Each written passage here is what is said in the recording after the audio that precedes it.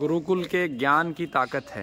एक तरफ़ जहाँ आप मकोले के स्कूलों में बच्चों को पढ़ाते हो, वहाँ पे बच्चे आपके कठपुतली बन जाते हैं और मोबाइल के गुलाम हो जाते हैं और वो बच्चे ना अपने माता पिता की सेवा करते हैं ना खुद का शरीर का ध्यान रख पाते। और ये देखिए, इस समय हम लाढ़ौत गुरुकुल में हैं और यहाँ के विद्यार्थियों का आप प्रभाव देखिए, किस प्रकार से अभ्यास ये कर रहे हैं। और ये गुरुकुल नेशनल लेवल तक इनके बच्चे गए हैं। ये देखिए। और ये है भारतीय संस्कृति की ताकत।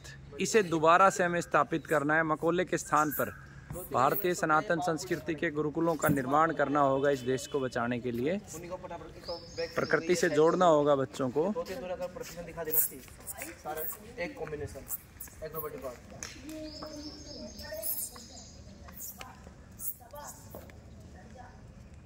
कितनी ज़बरदस्त कंसंट्रेशन इसमें है। शारीरिक और मानसिक दोनों ही क्षमताओं का भरपूर विकास यहाँ पर होता है। ठीक है चल जाने एक तरफ़ बाहर की चकाचौंध में व्यक्ति स्वयं को भी नष्ट कर रहा है समाज को भी नष्ट कर रहा है।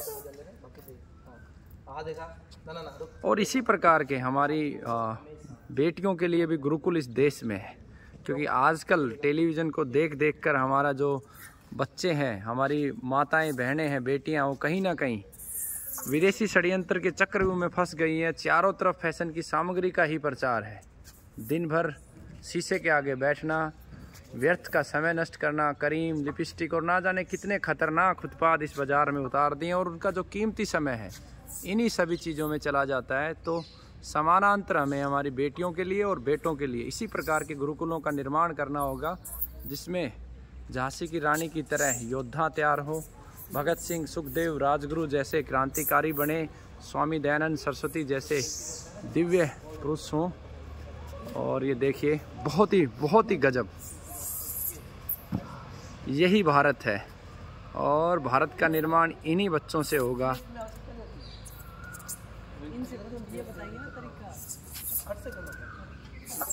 बहुत बढ़िया। गजब।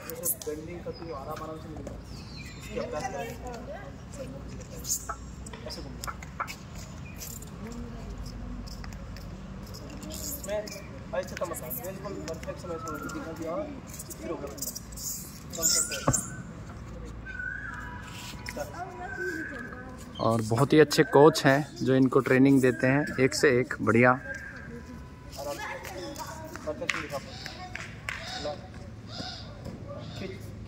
दिखा। सही। है वापस के लिए आपकी गर्दन वही थी। वापस जाने के लिए गर्दन को यहाँ ला अपने पीठ के बल से जाओ। यहाँ गर्दन पावर ठीक है ना? यहीं पे गर्दन नीचे कर दो।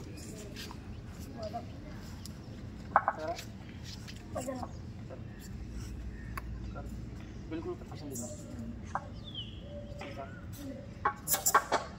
ये। ये मारते तो उसमें सिर्फ़ ये चीज़ आपकी रहेगी बाकी बॉडी पर